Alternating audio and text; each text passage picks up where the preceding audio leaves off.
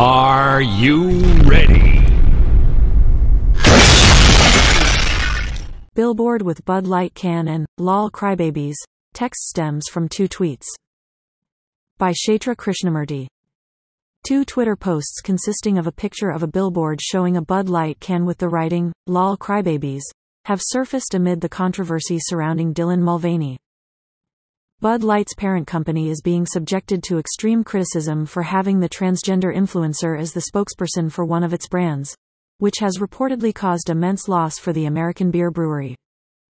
While Bud Light or Anheuser-Busch haven't directly commented on the controversy, the U.S. CEO Brendan Whitworth issued a statement saying the brand's intention was never to divide its customers. And now, adding to existing furor is the billboard with a Bud Light can on display and a taunting caption. Billboard showing Bud Light can with lol crybabies text surfaces on Twitter. The picture of the billboard featuring a Bud Light beer traces its roots back to two Twitter accounts and it's not to be found elsewhere. Meanwhile, the account holder has claimed in their tweets that the billboard is Bud Light's latest campaign in the midst of the drama surrounding its old one. But, Bud Light did not officially announce any campaign following the one with Dylan Mulvaney to celebrate the influencer's 356 days of transition. The tweets in question do not share any further information regarding the location of the billboard or when it was put on display. The taunting text on the billboard seems like an attempt by the protesters to draw more criticism toward the brand for promoting inclusivity. Grove Media and HITC have reached out to Anheuser-Busch comments. We haven't received a response at the time of writing this story. Anheuser-Busch and its brands have fallen prey to numerous rumors. Since the drama surrounding the TikTok influencer unfolded, Anheuser-Busch has found itself on both sides of the ongoing debate. One that praises its support for LGBTQ and another that criticizes its supposed gender propaganda.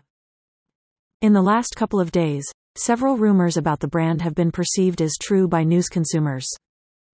HITC debunked most of the baseless claims including the one that falsely claimed Budweiser fired its entire marketing team and another that spread wrong information by alleging the firing of Bud Light's marketing VP, Alyssa Heinerscheid. But, what started as a rumor about the parent company losing billions while being embroiled in the drama came true as a whopping $5 billion loss in market cap was reported. What did the CEO say? Anheuser-Busch's CEO has maintained the brand did not intend to divide America with Bud Light's campaign. We never intended to be part of a discussion that divides people. We are in the business of bringing people together over a beer.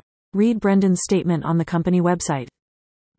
Meanwhile, Alyssa stood by Bud Light's decision to support the LGBTQ community and clarified in her statement that her mission always was to evolve the brand by incorporating inclusivity. She explained, Shifting the tone, it means having a campaign that's truly inclusive and feels lighter and brighter and different, and appeals to women and to men.